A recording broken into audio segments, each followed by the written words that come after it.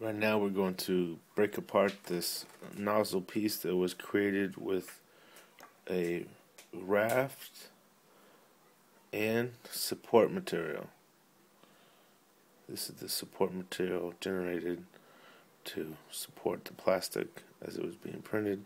Probably didn't need it, but I wanted to test it out. As that was the first time I've been using uh, raft and support. You can see the, the the raft there. That's the reticular, I believe, pattern. Same with the support.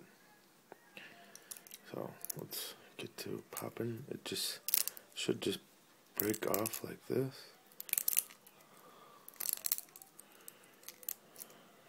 And then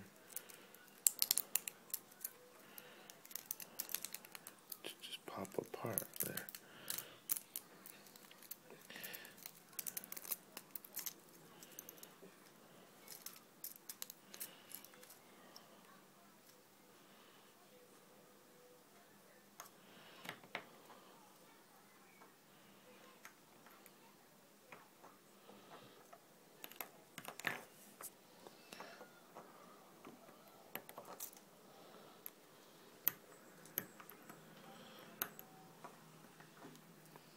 That's it.